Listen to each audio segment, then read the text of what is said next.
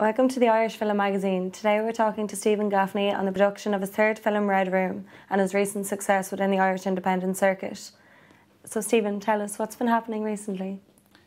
My first feature, Bully, was made for 300 euro, and uh, that was this time last year, which and it's gone to over 20 f- film festivals and picked up five awards so far, and it's been still going ahead. And uh, just sat there wrapping on my second feature, that's also no budget, like low no budget, uh, Class A, that's coming out in probably September. We're still editing it now, and Red Room is the first film that I have with a bit of money behind it, so I'm really confident about it. Fantastic. And without giving too much away, what is uh, the story behind Red Room?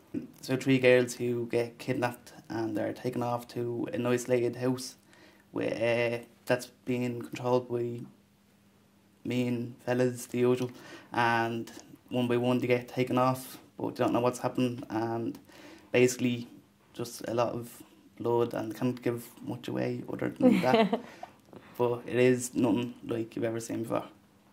Irish horror films haven't topped the polls recently. What makes your film stand out to the rest? It's really hard to try to think of a horror film, like an original horror film you've seen them all before, like, and even this one could be compared with some other films. I'm not going to mention what they are because I give away what it is, but this is I've never seen anything else like it whatsoever at all, story wise, nothing at all, and it's loosely based on true events, really just off the wall and realistic and nothing like not even just Irish horror films, any horror film, just completely different, but it'd be definitely weird in a good way. In a good way. Okay.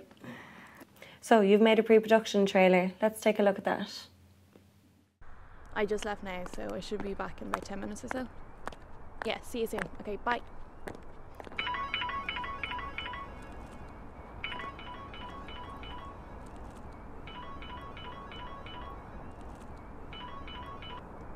Hello? I think you dropped your phone. Hello? Hello?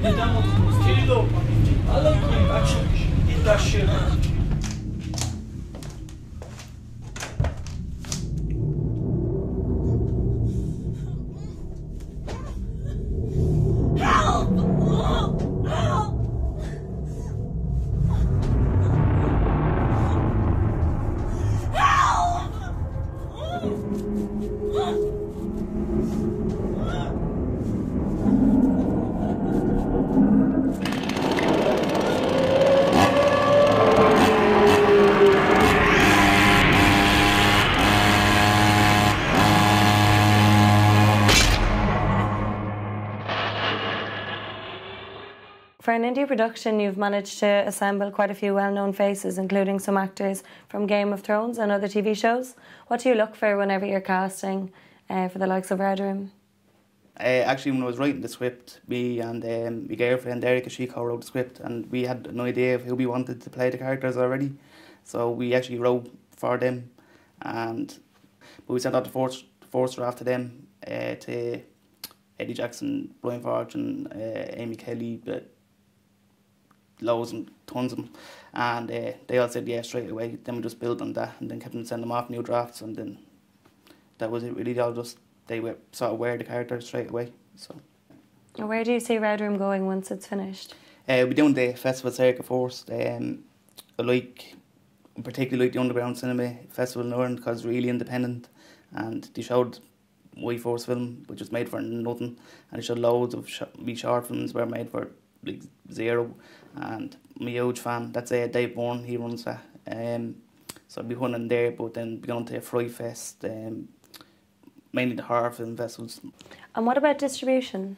Well, that's where film festivals usually come in. They, if it does well in the film festival, which um, I imagine it will be a bit controversial, well, not a bit, very controversial, that uh, it'll get a bit of a name and hopefully go on from there. One of the big problems faced by independent filmmaking is funding. How did you manage to overcome this hurdle um, with Red Room? After I made Bully and Class A, they nearly killed me because I was doing nearly all. Well, I can't take all the credit, but some some days of shooting, I was doing camera, sound, clapperboard, continuity, assistant director. So I just knew that I needed to get money for like camera operator, or everything I just said basically, plus uh, special effects because this film has no CGI. So I just went around to everybody that I knew that was involved in uh, producing and got basically to invest. So they they're investing with uh, they, they they read the script and thought it was a good script and they think that film will sell. So they're going to get some money back from that. They're fairly confident it's going to sell. So we have the money for production, so it, but not but not post production. So it's we're still looking for investors for post production, which is like uh, editing, sound mixing, score. There's loads left, but we got the main thing is that we're getting the film shot now. So Unlike other films, then everyone involved will may get some sort of pay yeah, if the film is successful, then which it will be. yeah, So there's still an opportunity for people to invest in Red Room. yeah. And how do they go about it? Uh, they can contact us mainly. Mainly, we're doing mainly everything through Facebook. But uh, Facebook is facebook.com forward slash Red Room Film, or you can contact us through email, which is deepwebfilms at gmail.com, and that's mainly for post production side. But uh, still being part of the whole film doesn't matter what's up, if it's post or pre production, whatever. They're still down as investors and going to be in credits and all that. And if the film makes money back, they get a return of it. So. What advice would you give to any directors starting out in the business? Uh, it sounds a bit of a cliche, but never I give up. I've been I'm 28 now, and I started writing when I was over t- over 10 years ago, and this is the first film where I actually got money handed to me to make a film. So that's over 10 years of making not bad films, but making films for nothing basically, and getting nothing in return or anything whatsoever. So just keep at it until you make it. Not that I've made it yet, but I hoped it. Stephen Gaffney, director of the forthcoming horror film Red Room. Thank you very much. Thanks.